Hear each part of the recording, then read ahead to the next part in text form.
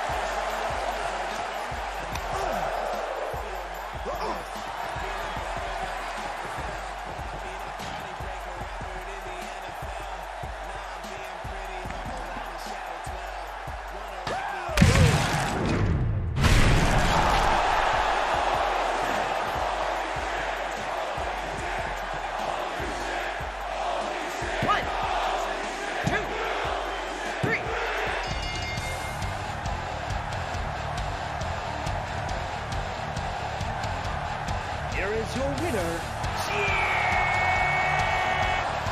Hardy.